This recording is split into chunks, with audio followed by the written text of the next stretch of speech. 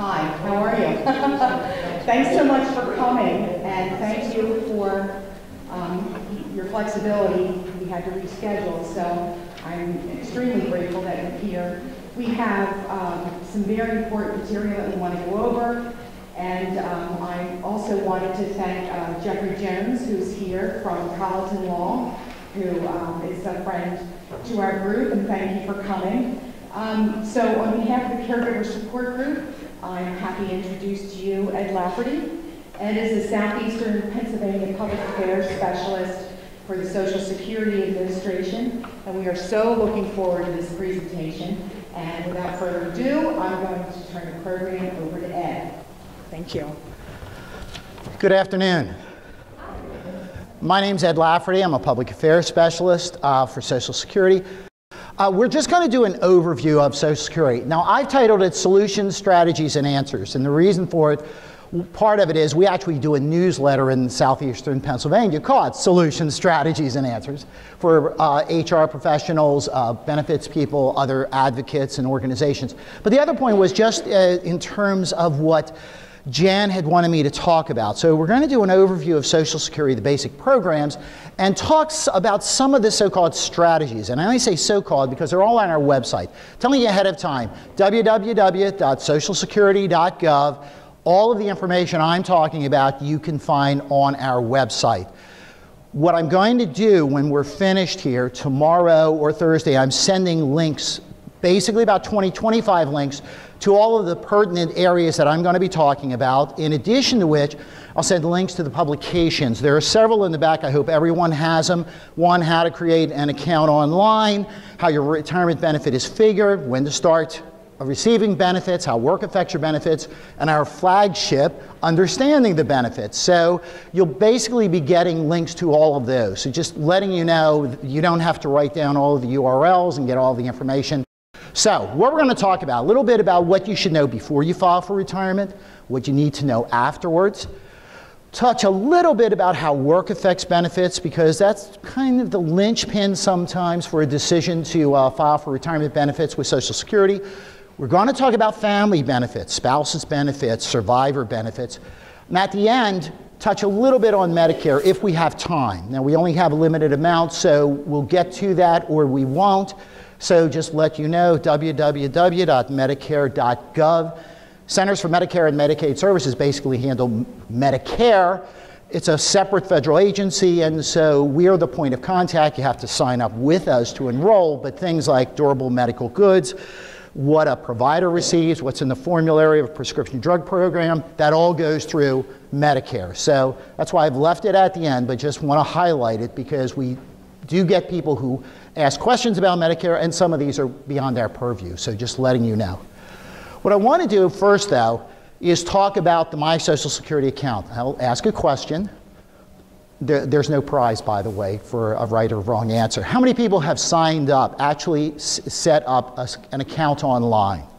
Bless you, all those who have. For those who haven't, please do so. The really important thing is Social Security, as of 2011, stopped sending out the paper statements that said how much you would receive from Social Security. This is your earnings record. These are the amounts in which you pay Social Security taxes. They've actually created an online account. In this past September, they started sending those out again. They're done in five year increments, age 25, 30, 35, 40. If you're 60 or older and no one needs to put their hand up to see if they qualify, you'll be getting it every year.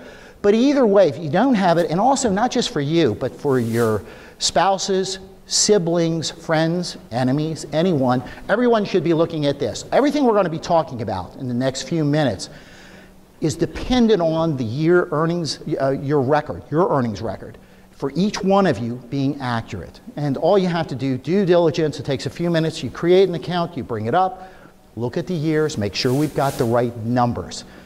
You're the only one who's going to know are you the one who earned these amounts? And we want to make sure it's right because everything else is dependent on that. Before we do anything else, do we have the right numbers? Takes 30 seconds due diligence every year. What's nice about doing it online is you can actually save it, you can print it out. But either way, whether you've just received the paper statement, electronic, you create your own account, please do look at it. Everyone should be checking. And that's not just someone close to retirement If you have kids, grandkids are paying in Social Security, if 18 or older, they should be looking at this. Make sure we've got the right numbers. So, the way you would find it, and yes, this is one of the uh, screenshots on www.socialsecurity.gov. It is true, we have YouTube videos of cats. I just want to point out to you that we have lots of YouTube videos. So, Retirement 101, a range on disability, so everything's on there. They get like three, 4,000 hits.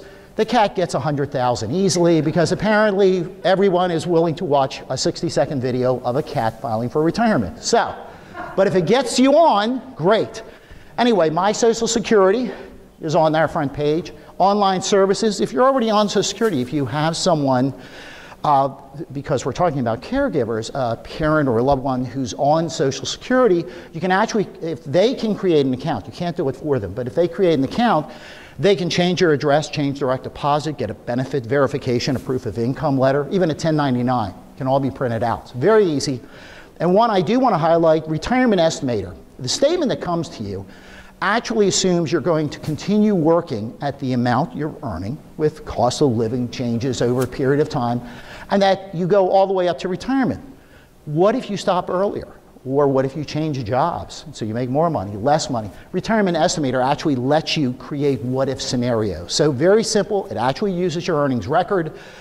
It's very, very user friendly. You really can follow the prompts easily. So the point is create an account, then later on look at the retirement estimator. If you're thinking of filing for benefits, say way down the line, not at all, or you're going to file for retirement, but you're going to stop work well ahead. What happens if I don't pay into Social Security? The retirement estimator will really give you the numbers on those. And those are accurate because it actually accesses your earnings record. So, retirement estimator. But the real key is if you're talking about benefits, notice it'll bring you up to this page, and off on the right side, I'm sorry on that, it says retirement. It looks like it's retirement, and perhaps for some of you it is just retirement, but it's retirement. And if you click that, you get this page, four people on retirement, one of whom looks like Lurch from the Addams family. I don't know if they did that deliberately, but he does appear to be falling on the other three people. Over here is our retirement planner. What's nice about the planner, because we're talking about Social Security in a general way, but it's different for everyone in terms of your own needs, your own expectations, your own histories. So if you go to the retirement planner, and on the right hand side, you'll see retirement again. And if you click that, it goes through a list of things how to apply, how spouses benefits, how work affects your benefits. Just about everything we're going to be talking about, you can get on the retirement planner and far, far more. So, my point is go to the retirement planner. It really is useful. And rather than just tracking through four or five slides, just put in retirement planner uh, in the search engine, bang, it comes up. Very useful because even though all of you have questions about retirement or survivors or disability perhaps, the planner touches on a wider range. So some of the things that you might not have considered that you should be asking, they're on there. So it's a really useful tool, good reference tool. This is so simple, I'm quickly going to go through, but just to be aware, we are talking about covered earnings. That is, people have paid Social Security taxes on these earnings. You have to be insured to get retirement benefits. You also have to be insured to get disability and survivors, but in many cases, you don't need as much work. But for retirement, the basic point is you have to earn what are called 40 credits. It averages out to 10 years of work. And the reason we do it that way is I have nothing to do with it. The way Social Security does it, you'll notice you earn $1,220 in 2015, you have a credit, four credits, little almost $5,000, you have four credits. So that's why we say 10 years. It doesn't necessarily have to be 10 years consecutively. Does it add up to 40 credits? It's an either or principle. You either have 40 credits or you don't. If you don't have 40 credits, no money is due you. If you have more than 40 credits, it's just a threshold. So in many cases, when you look at your statement, it says you have 40 credits, and you'll say, I've worked many, many more years than 10. Obviously, they're just saying you're insured. So basic point. How retirement benefits are figured. I brought this, uh, the um, handout for the uh, 2015, someone who's turning 62 this year. But you can actually get the publication for differing years. So if you were 62 last year, the year before. But it gives you a nice overview. The really important point is Social Security uses the highest 35 years of your earnings. not the high three or five or 10. You, in effect, are vested, if you want to call it that, after 10 years, you're insured, but the, the average over most of your working lifetime is always you. So if you didn't pay into Social Security for five years, 10, 15, Social Security is still using 35 years. Some might include zeros. So just be aware of that when you look at it. The formula is applied and results in what's called a full retirement age amount. Now, we call a full retirement age, or FRA, I'm going to refer, so I don't have to write that each time and say it. You'll also see it as retirement age. On our own website, there are a couple places on the actuarial page where it says normal retirement age. It's all the same. Full retirement age.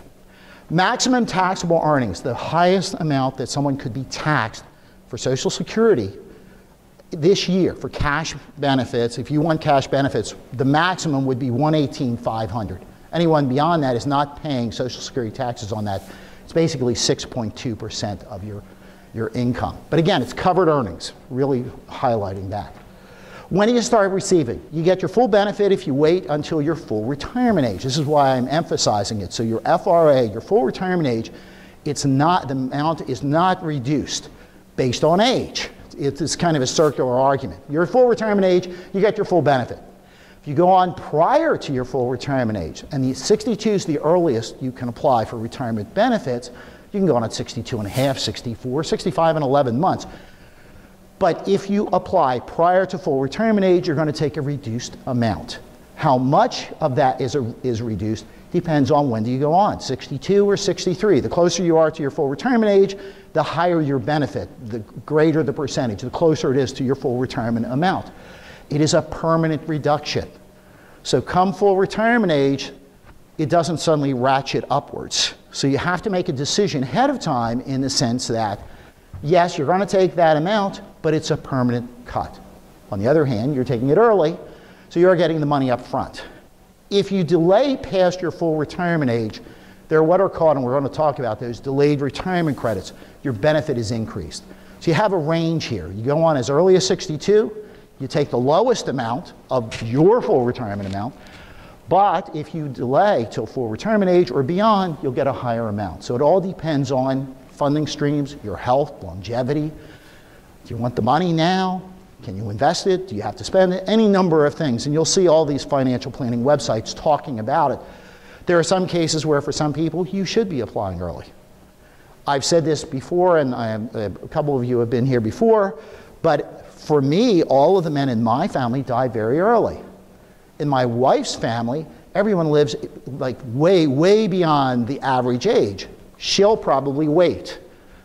If all of the men in my family die in their early 60s, when do you think I'm applying for benefits?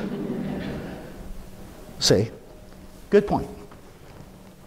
So, when we talk about full retirement age, and no, again, no one has to raise their hand unless you feel the urge. If you're born between 43 and 54, your full retirement age is 66. If you apply as early as 62, you only get 75% of that amount. You take a 25% cut. Now, 25% at 62. If you waited till 63 or 4, you would get a higher amount. So I've done the, uh, the, the most you could be losing is 25%. But it's a hefty cut. On the other hand, you're going on four years ahead of time. So you have to trade that off. Come the time you hit 66, that thing, with the exception of cost of living adjustments, or if you were working and you could add to one of those 35 years or replace them, but basically the percentages are going to stay the same. You'll have taken a permanent cut in your benefit. Now you'll notice people born 55, 56, 7, 8, 9, it goes up incrementally two months until anyone born 60 and later, it's age 67, and there's a 70% of the full retirement age. But they're going on five years ahead of time. Again, a trade off. Go on early, get a lesser amount, but it is permanent. So that's where longevity, health, funding streams, obviously, do you need the money, and so forth, come into play. If you go on, and I've actually copied this off the website, so I apologize for it being scrunched up, but it, it necessitates paying attention for one second on this. For a delayed retirement credit, beginning with the month of your full retirement age, ending with a month before you're 70, so this only really counts until 70. At 70, you want to be applying for benefits as far as Social Security is concerned. There's no advantage to waiting. But at, before then. You get a credit for any month you're at least full retirement age. You're insured, remember you had to have worked enough, and you don't receive any retirement benefits. And it's an 8% increase straight across the board. So that 8% comes at the end of the year. It's, on it's part of your full retirement amount. It, they don't, there's no compounding. For those of you clever enough to go, do I get 8% of the 8%? No, it's just a straight amount. It goes up 88%. It's actually two thirds of 1% per month. So if you went on at 66 in six months, you would get a 4% increase. If you wait till 70, you get a 32% increase. It's not paid to the spouse, and that's going to be important when we talk about strategies. Uh, but it is paid to a widow or widower, the person's deceased, survivor. So, survi- life case versus survivor's case, quite different on that. So, we're only talking about while the person's still alive, retirement. It's only payable to the worker. So, the way it works is this if you file, you could file between age 62 and 70. Let's assume, for the sake of numbers, and the reason I'm using this is we also have when to start receiving uh, retirement benefits. Uh, that fact sheet, they use $1,000, and lots of people use it. So, just for the sake of numbers, there's no magic to it. If your full retirement age is $1,000, you go on as early as 62, you get 75% of the benefits, $750. Obviously, you get 1000 at 66. If you wait till 70, you get $1,320. It's a significant increase. What's the downside to this? This is pretty straightforward. You have to live the eight years. And while I'm being facetious, the point is, it really is terribly serious in the sense of what is your health? The way the system is set up, if you wait it for the delayed retirement credits, apply dutifully. At 70, you want to get your benefit, and you go out and you are get hit by a meteorite the next month. So Security isn't paying you eight years back, going, "Wow, they were really nice enough to wait. It's too bad." You've lost out. It is a flip of the coin as far as your health, longevity, and so forth. But if you can, it is a nice payback. And again, I've used age 70. It's any time between 66 and 70 that percentage. Again, it's on a monthly basis they're actually paying. But you have a choice, you have selections. Full retirement age gives you many, many more choices. And this is a great one example. Obviously, go on prior to full retirement age, you get a permanent reduction. Once you're at full retirement age, do what you like as far as do you want to continue working?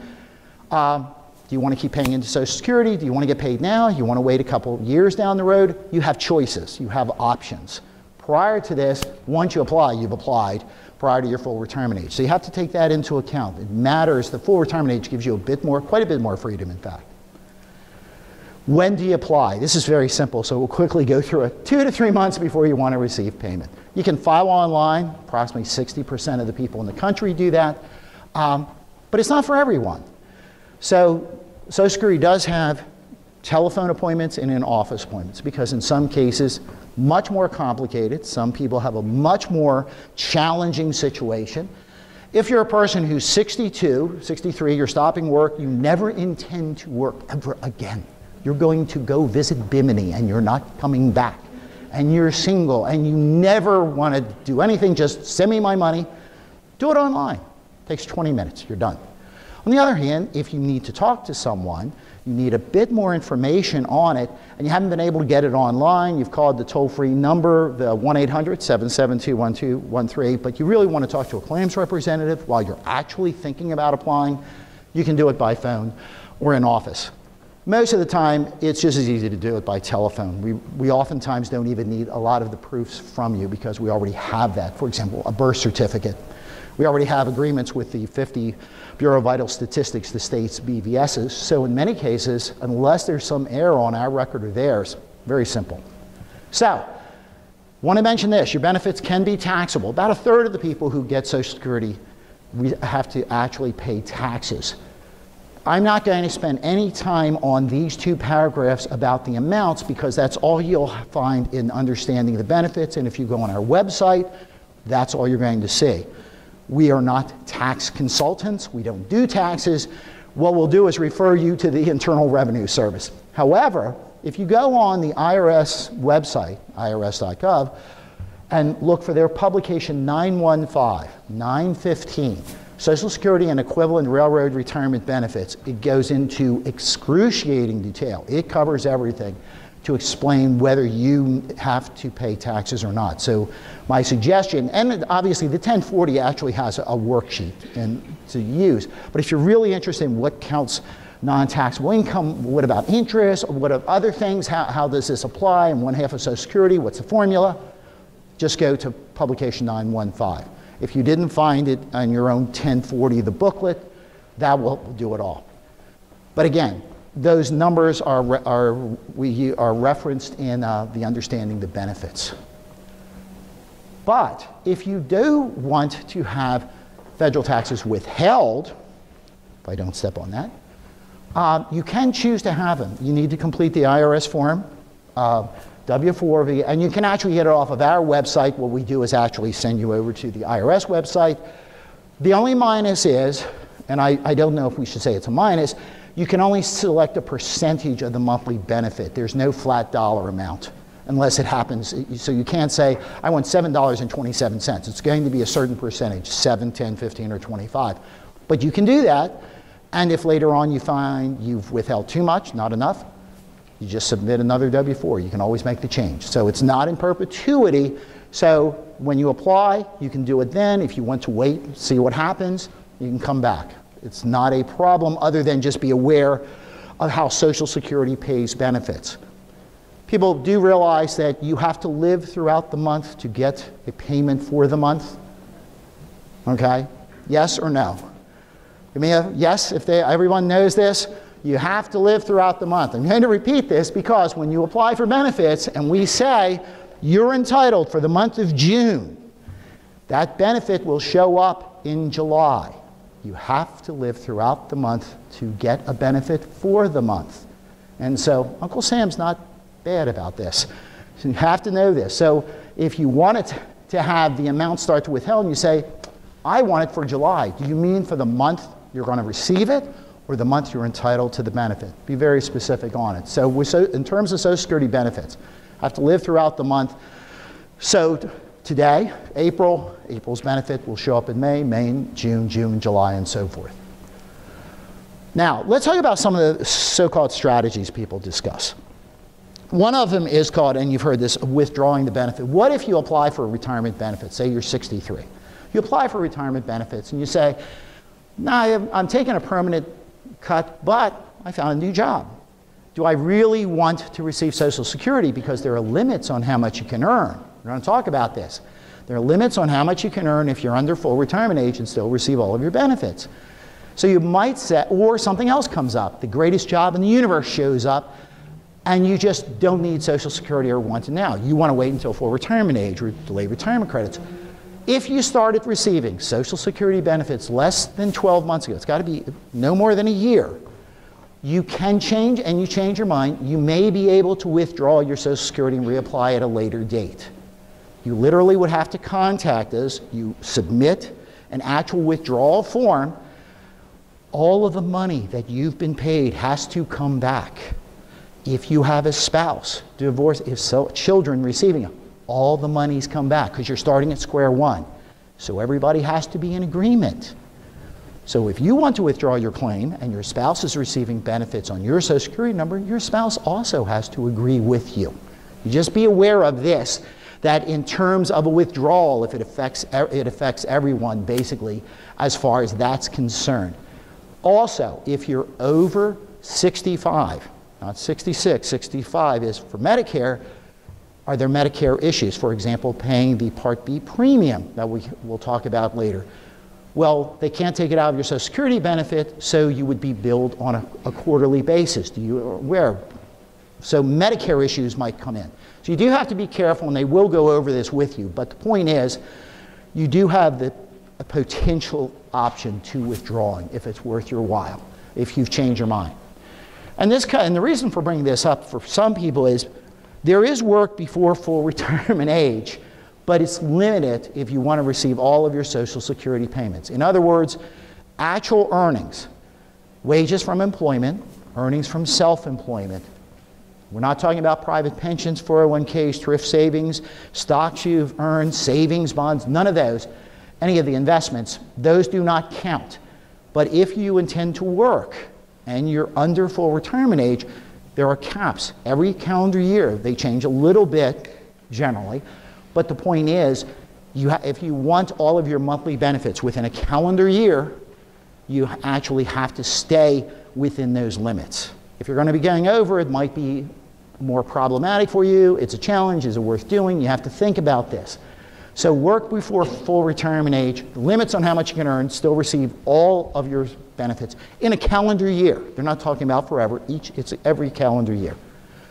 The month you attain your full retirement age, and once again, this is why the um, FRA, the full retirement age, is so useful, your earnings no longer reduce your benefits. So if Jan decides to become the next Oprah Winfrey and turns 66, and all of you can get her autograph now, save it, and then when it occurs, sell it on, uh, you know, and Amazon will probably let you do an ebook on it. But until the, the Jan I knew, correct? Beginning with that month of full retirement age, Social Security will send you your benefits if you like. Or if you want to delay retirement credits, you can defer. But the point is, you have a choice, and it is your choice, not Social Security's. Once you're at full retirement age, decide whether you want to continue working or not but decide whether you want to delay retirement credits or not. Your options, completely dependent upon what you want to do. Prior to full retirement age, you don't have that option. There are limits on how much you can earn. I brought the uh, little trifold, how work affects your benefits. And we're not, we don't have enough time to go through it. Takes a bit of time, and really you need to use this. There's also, when I send Jen the links, there'll be an earnings calculator. So you can actually say, what if I earn this amount? What happens? But the annual amounts, notice if you're under full retirement age, it's $15,720. And nobody's driving a Bentley, as far as I know, with this thing. There is also another amount that when you turn your full the year you turn your full retirement age, if you want to collect prior to your full retirement age, you can earn a certain amount. And notice it's, it's a heftier amount. You can make almost 42,000. Now they don't break it per month. They just say, when do you turn 60, whatever, say 66 is your full retirement age. Say you're turning it in June.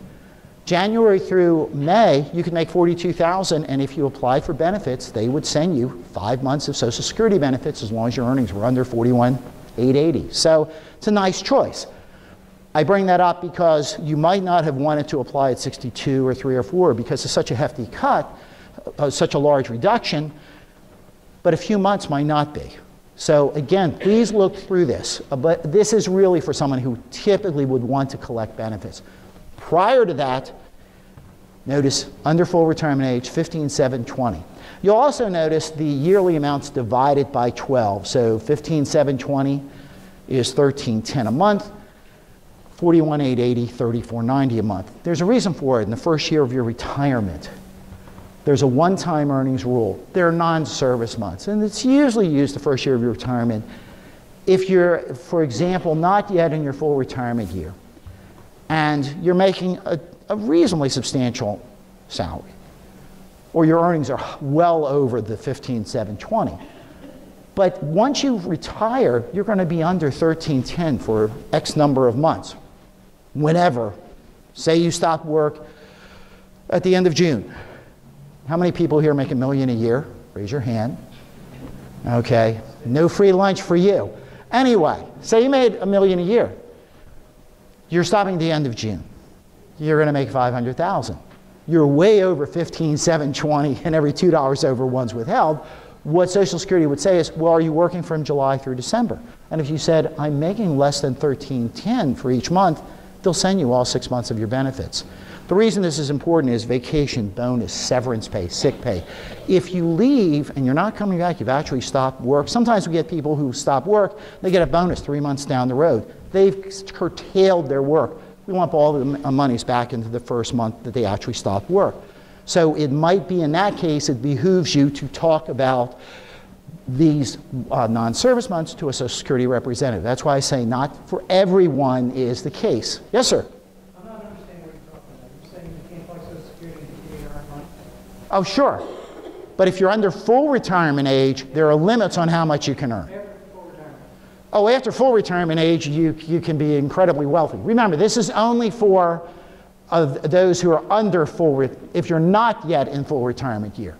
If you're at full retirement age, make as much as you like, Social Security will send you your benefit regardless. But if you're under full retirement age and it's all the way up to the last month, the month before you turn full retirement age, there are limits on how much you can earn.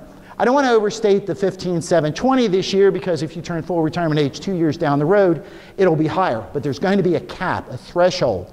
If you go over that, you start losing some of your benefit. You actually lose $1 for every $2 over that amount.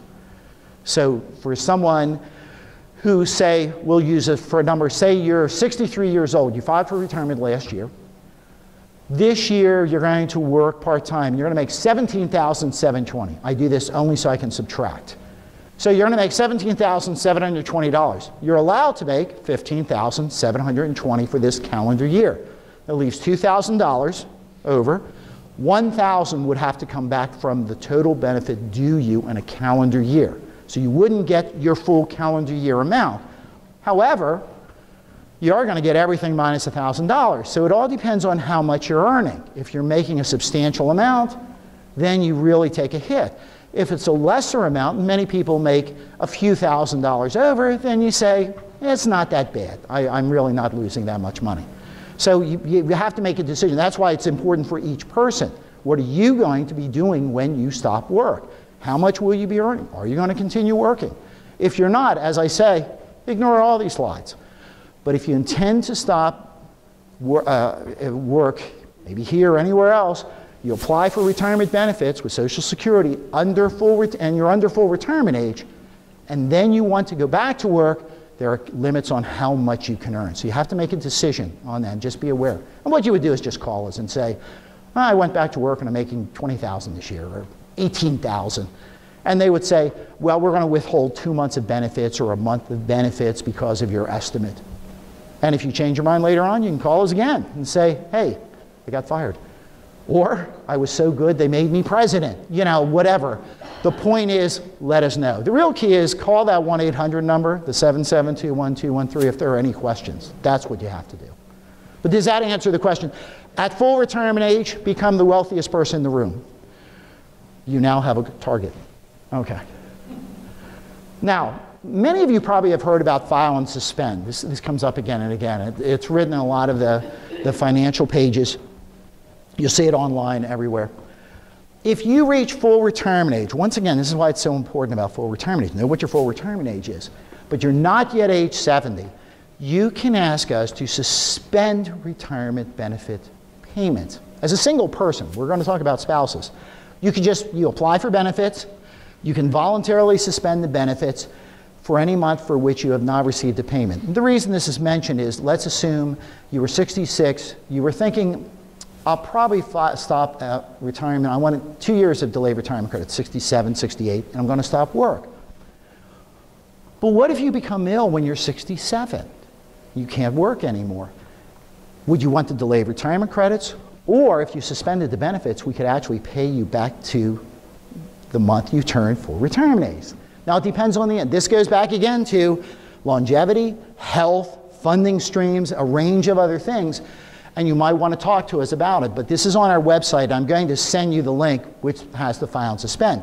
That's just for a person, one individual on your record. And I've seen that in a few cases, the reason I mention this, where it's stated maybe you should think about it.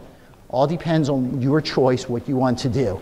But you have an option, the file and suspend. But once again, it's full retirement age. I'm, I know I keep repeating this, but full retirement age gives you choices. Prior to full retirement age, you don't have those choices. And in fact, you could not have applied prior to full retirement age and get this. You're waiting until full retirement age. Which leads into spouses' benefits. There are spouses' benefits for retirement. Uh, 12 months of marriage. You have to have been married 12 calendar months. The spouse has to be at least age 62, and there'll be a reduction because the person's going on prior to full retirement age if they apply prior before, before they hit full retirement age. You have to realize. So age 62 is the earliest, but there's a reduction because they're under the full retirement age.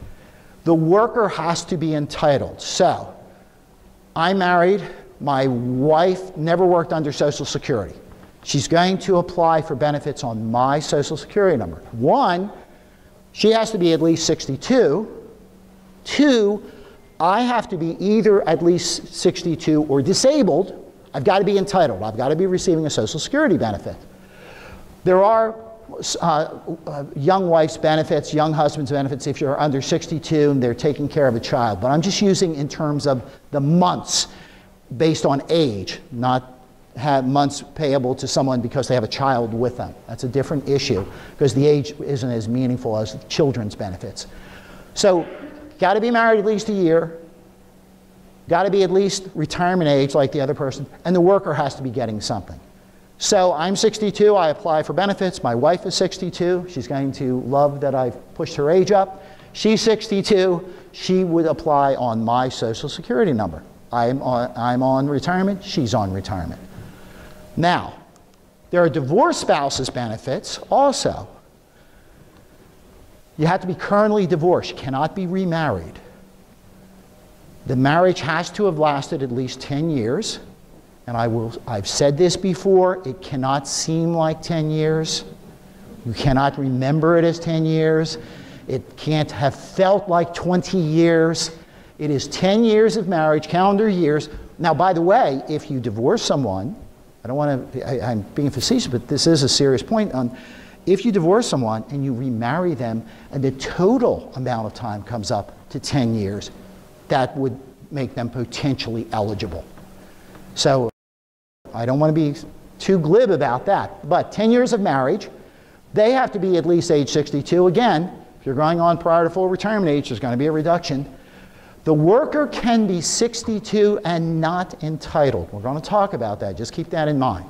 The worker can be married. In other words, I could divorce my current wife, remarry, come in, say we're all 62.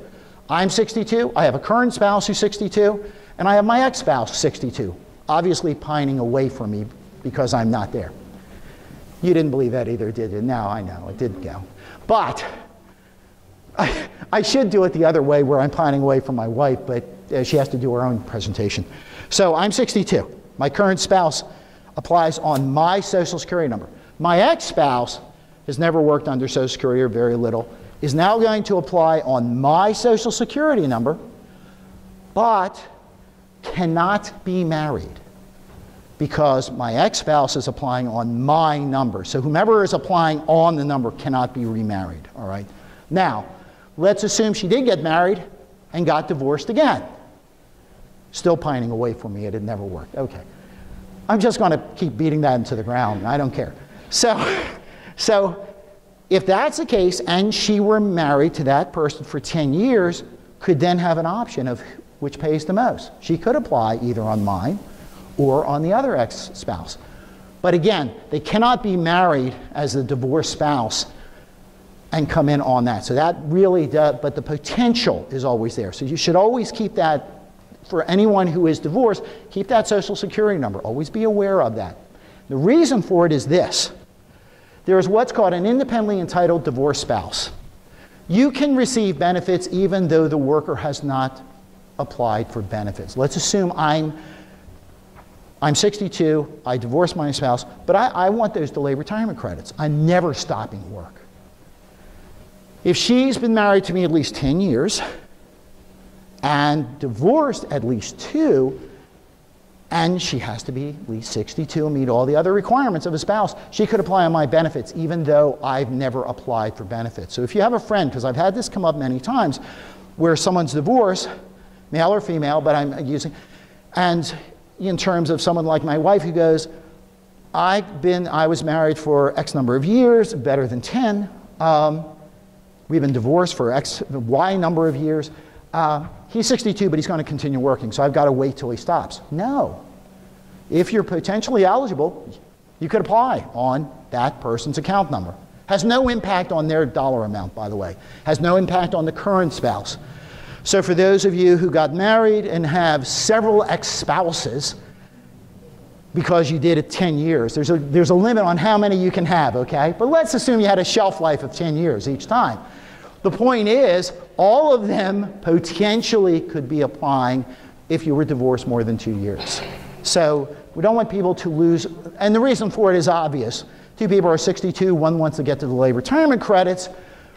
The other person, remember, the spouse cannot apply while they're getting delayed retirement credits. Well, you know, and there's no file and suspend. This is just a case of, hey, we were married more than 10 years, we've been divorced more than two. If I'm potentially eligible for benefits, I meet the other requirements, I can apply. Now, the reason you don't see a million people coming out of the woodwork doing this is spouse's benefits are calculated differently from retirement benefits. A spouse's benefit, maximum of 50% of the worker's full retirement age if the spouse is full retirement age. In other words, let's use the $1,000 again. If I get $1,000 on my Social Security number, my spouse, the maximum she can ever receive, if she had never worked under Social Security, is 50% of mine. So the maximum she could get is $500. So what if she gets more on her own? Why would she be applying on mine? So that, and, and spouse's benefit, same formula for a divorced spouse, which once again is why you don't have people lined up and around the block doing this because of that amount. Survivors are different. You get a higher amount, so we're going to show that. Doesn't affect the worker's monthly benefit. So, this is the way it works. Let's, I keep saying, what if they're not insured? What if they are? What if my wife, and she has, worked under Social Security? Before full retirement age, you are deemed to file. What does that mean? If insured, that is, they worked enough to get a benefit on their own Social Security number, the spouse must file for their own retirement first. File as a spouse if due additional benefits. If they get more in their own record, no spouse's benefit is payable. What does deemed filing mean? You cannot file for a reduced retirement benefit, insurance benefit, or reduced spouse's benefit without filing for the other benefit if eligibility is possible. Obviously, if I'm 56 and my wife's 62, she can't, she's not going to be forced to apply on my account number because I didn't apply. But I and could not because of my age. But the point is, if the benefits are there for both, for, uh, both a spouse and on your own retirement, and you're under full retirement age, you cannot put them one to the side. Because we get this oftentimes, well, my spouse is going to apply on her or his own Social Security number, and then because I've made more money, the 50%, they can get something on my own. Well, in fact, they can't. They'd have to do both. I know. Plenty of time, because that's why I left the Medicare at the end. So if you're, you and your current spouse are full retirement age, one of you can apply for retirement benefits now. Oh, by the way, thank you, though, because I did notice there's not a clock around. Uh, one, one of you can apply for retirement benefits now, have the payments suspended. Again, if you're full retirement age, while the other applies only for spouse's benefits, the strategy allows both of you to delay receiving retirement benefits on your own record so you can get the DRCs, the delay retirement credits. Only one of you can apply for retirement benefits and have the payment suspended. Now, we're talking at full retirement age. What if I'm full retirement age, my wife's 62, hasn't worked under Social Security, or has a little bit? She, I could suspend my benefit, allow her to apply as a spouse on my account number, but she'll take a reduced benefit because she's under full retirement age. And that's why it's really essential to be aware what's a full retirement age? Your options are far greater later on. Because after all, if she applies for spousal benefits on my account number, she's going to have to apply on her own Social Security number. She can't get the delayed retirement credit. So it really does matter when do you want to apply, prior or afterwards. Doesn't mean you can't, but you have to be aware that there are the, the reductions involved. And in this case, I shouldn't say penalty, but it, it might be disadvantage, uh, disadvantageous to you. And very quickly, survivor benefits. The earliest is age 60. By the way, this is gender neutral, it doesn't matter male or female. Age 50 if disabled, but those are very few and far between, very stringent in the disability. So, as opposed to being 62, if I die, I predecease my wife, if she's 60 or older, she has the, the ability to apply on my Social Security number to get a widow's benefit. It'll be reduced, but notice she can go on well ahead if her full retirement age were 66, she can go on six years ahead. It is a permanent reduction, though, but there's an exception. We're going to talk about this. It's any age if you have a child in care, but I'm not going to deal with this. So age 60 is the earliest. In many cases, you don't see people applying because the annual earnings limits, the ones we were talking about before, prior to full retirement age, applies also to a survivor. So, for example, if my wife predeceases me, I might be entitled to a widower's benefit, but guess what? I'm still working. Well, how much am I earning? If I'm earning too much, is it really in my interest to apply? So that's, that's an exception. Deeming does not apply to survivor benefits, though. Let's assume that I, I, I, I predecease my wife. She's 62. She's entitled to benefits on her own account number if she applies, and also on my own social security number. She can choose to apply for a reduced benefit at 62 if she likes on her own social security number, come back and get the full unreduced widow's benefit on my social security number, or apply on mine and get the delayed retirement credits and wait all the way till 70 if she likes. Deeming doesn't apply. So when we were emphasizing the prior point about applying early and full retirement age, it's different for survivors because these are two different points. One's a life case, one obviously is a death case. So there are more options in that. But she could delay one. And all of this is on our website. And if a person has a question, they should call the 1 800 number. And what does a survivor receive? 100% of the full retirement age amount. However, if you begin receiving Social Security benefits early, that is prior to full retirement age, Social Security cannot pay your surviving spouse a full benefit from your record. In other words, the full unreduced amount from the full retirement age cannot be paid because you went on earlier. And that, by the way, is on the back page of the uh, when to start receiving retirement benefits. So there are three things going on. If you apply early, you get a reduced benefit. This isn't to talk people out, but you should be aware. It's reduced benefit. Two, there are limits on how much you can earn and still receive all of your Social Security benefits. And three, if the survivor benefit is important to you, so if it matters to me that my wife receive a survivor's benefit on my Social Security number, if I apply early, there's a carryover effect. She'll never receive my full retirement age amount. Now, perhaps she gets such a high amount on her own, it doesn't matter. The issue here is how much do you get on each one, but the point is, I went on early, there's a carryover to the survivors.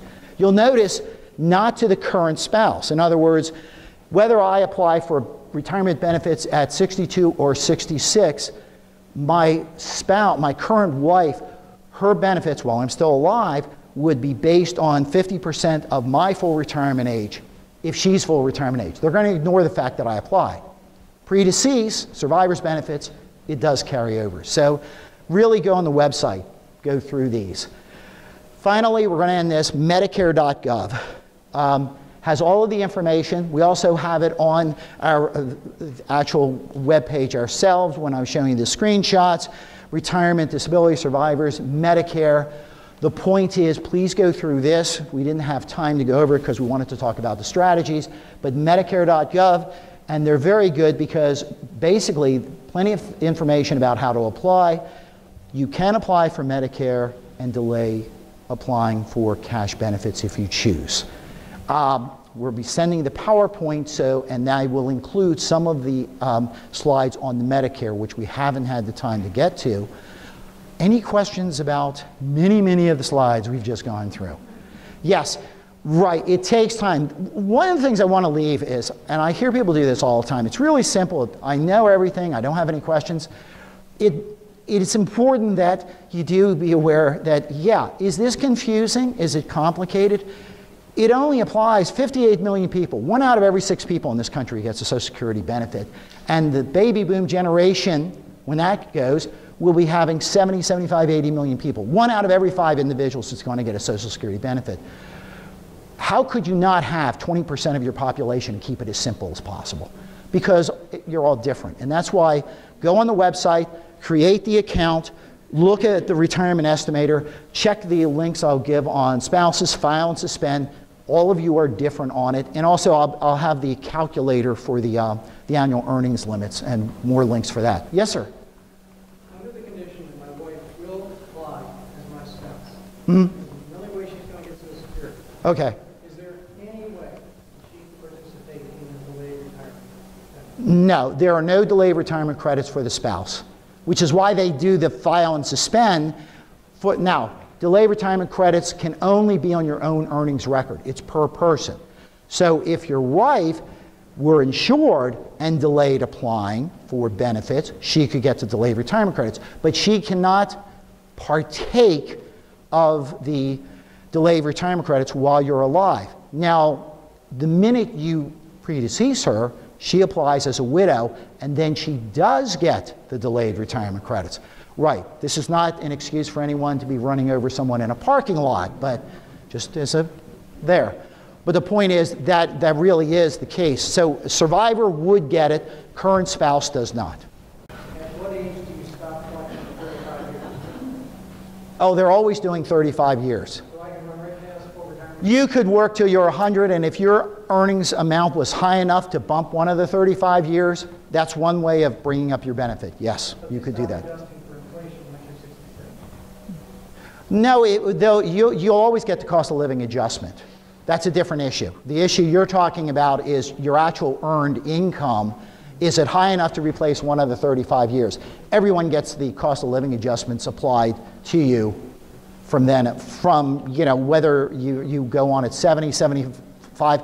If you were, if you were deceased at age 50, in fact, and your spouse, then your widow applied on your social security number, all those cost of living increases over the years would apply to it, and the monthly benefit would be higher come the time she applied at age 60, for example. So those are always going to be applied. There are a couple cases where it doesn't hit in the computation, but it's not in perpetuity. So you could increase your benefit. You get the cost of living adjustments, you get the delay retirement credits, and if your earnings are high enough, you can replace one of the 35 years used in the formula. You can do all of them, in fact. Yes, sir. What is the, uh, when it comes to social security benefits, what is the biggest uh, financial mistake that people make? Aside from not going on our website, the, I think that one of the things, see, the, we stay away from the full retirement age because we're not consult, financial consultants. And because you get into these tax issues, which is you'll notice how I got off the tax within one slide. We can't do that. But I do think the prior to full retirement age, the number of people who apply early, who feel I need to apply now, and if you waited a little bit, probably would be better because that's why I list those three points. That in many cases you'll get someone who applies for retirement and says, I'm not going to work, I don't worry about it. Yeah, I know I'm taking a cut. Is your wife going to be, will, you, will she outlive you? Will she apply on your social security number? Well, if she does, she's now going to get a lower benefit. Do you know that? And in many cases, people aren't aware. So it's more of a combination rather than just one when you add them together. And that's why I suggest really going on the website and exploring it. One, it's your tax money at work, just as I am. But the other point is, it really is essential because it might be different for each person. Someone might not care about the work, but they do care about the survivor's benefit.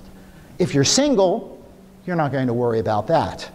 But delayed retirement credits might be meaningful. So it, it, it is very much individualized, but I think prior to full retirement age, knowing that full retirement age gives you a broader range of activities, like the file and suspend if you're single, it's not a bad idea. Any other questions on? Please, I'll send, again, links to the publications, links to what I've talked about, and create the, the account online. Make sure we've got the right numbers. And I hope you have a wonderful day. Thank you so much.